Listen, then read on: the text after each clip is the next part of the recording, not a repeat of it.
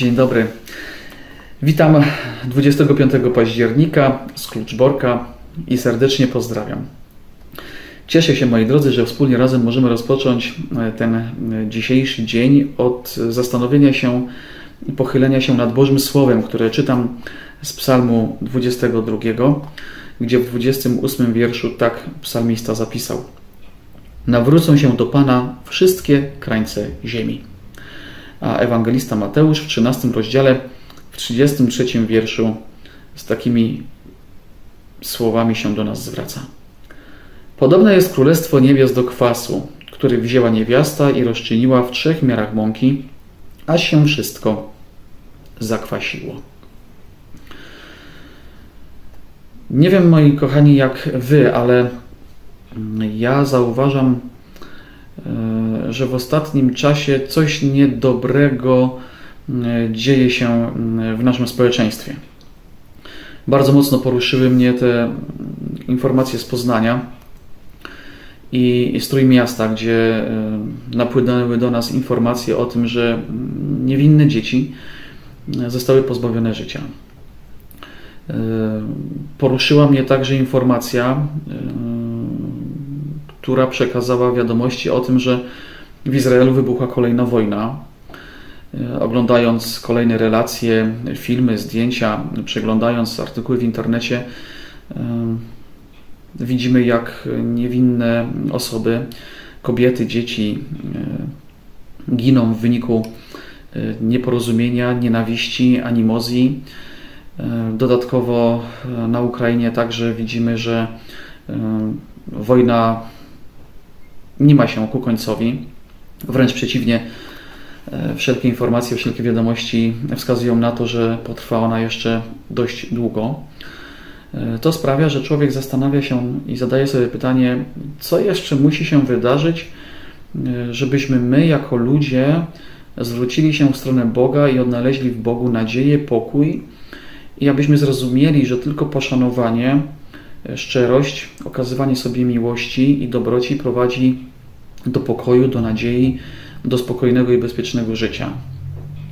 Do tego, by złe emocje, nami nie szargały, nie przyjmowały nad nami mm, e, władzy. By nasze serce zostało uwolnione od tych wszystkich e,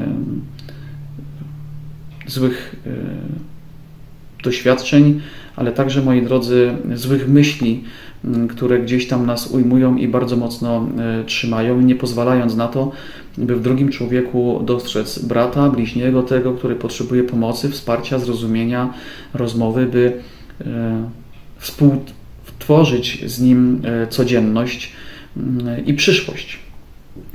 E, nie chcę oczywiście tutaj nikogo oceniać, nie chcę tutaj mm, wypowiadać swoich opinii, ale chciałbym zwrócić uwagę na to, mm, jak niewiele nam brakuje do tego, aby zrozumieć, co tak naprawdę jest wartościowe i co prowadzi do e, prawdziwego pokoju, do prawdziwej nadziei, do wewnętrznego spokoju, do tego, by naprawdę żyć pięknie i dobrze ze sobą. O tym mówi psalmista w psalmie 22. Nawrócą się do Pana wszystkie krańce ziemi. No właśnie.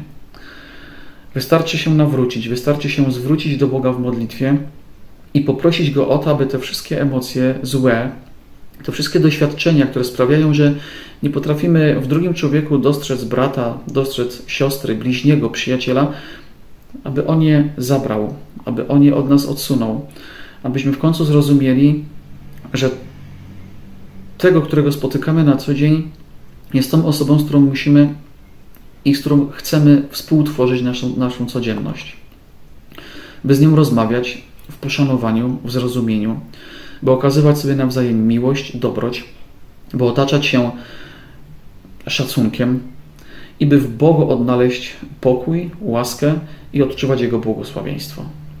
Bo Bóg ofiarowując nam Jezusa Chrystusa y, jest tym zaczynem, który sprawia, że wyrasta dobre ciasto, że to ciasto jest smaczne, jest pachnące, jest wspaniałe y, dla oka, y, dla naszego smaku, pragnie nas pocieszyć, pragnie nas wzmocnić. ale musimy się do Niego zwrócić. Musimy się zwrócić w modlitwie do Boga, prosząc o to, aby przez Jezusa Chrystusa w mocy Ducha Świętego zmieniał nas wszystkich każdego dnia. Nie raz na jakiś czas, nie od wydarzenia do wydarzenia, ale każdego dnia na nowo. By Bóg się do nas zwracał i byśmy to my każdego dnia na nowo do Boga się zwracali, nawracali ku Niemu. Tylko wtedy będziemy potrafili stworzyć e, społeczność ludzi miłujących się nawzajem, szanujących się nawzajem, rozumiejących się nawzajem i co najważniejsze, pomagających sobie nawzajem, widzących w sobie brata i siostrę, tak by nie było już nieporozumień, podziałów i tej strasznej nienawiści, która przejęła nasze uczucia i zawładnęła naszym sercem. E, nie chcę, moi drodzy, żyć w takim społeczeństwie. Nie chcę żyć w świecie przepełnionym nienawiścią. Nie chcę, aby moje dzieci żyły w takim świecie. Po prostu za dużo tego zła jest, za dużo tego, mm, tych nieporozumień jest wokół nas i jeżeli nie zaczniemy głośno mówić o tym, by zwracać się w stronę Jezusa Chrystusa, e, to nie zwalczymy tej nienawiści, tej złości, tej pogardy. Jesteśmy Kościołem Jezusa Chrystusa, jesteśmy dziećmi Bożymi.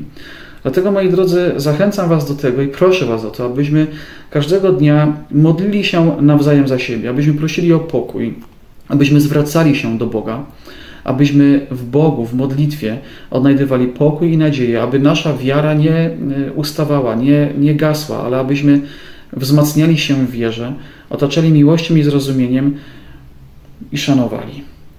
Bo tylko wtedy będziemy mogli powiedzieć o sobie, że nawracamy się w stronę Jezusa Chrystusa, w stronę Boga, że nawrócą się do Pana wszystkie krańce ziemi, że w Nim odnajdziemy pokój, nadzieję, łaskę, poczucie bezpieczeństwa, wszystko to, co zostało nam ofiarowane w Jezusie Chrystusie, wszystko to, co Bóg nam pragnie dać każdego dnia. Tylko wtedy odczujemy działanie Ducha Świętego.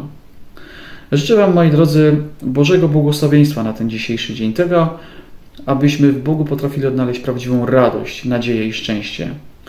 Życzę Wam tego, moi drodzy, abyśmy się nie poddawali, abyśmy nie rezygnowali z siebie nawzajem, abyśmy zawalczyli o siebie i Bogu powierzali każdego z nas osobna nasze sprawy, nasze problemy, nasze trudności, także, moi drodzy, nasze złości, nasze słabości, Powierzajmy to wszystko Bogu w modlitwie i prośmy o to, aby nas wspierał, aby nas leczył, aby nas wyciszał, aby prowadził nas swoimi bezpiecznymi, pięknymi, błogosławionymi drogami.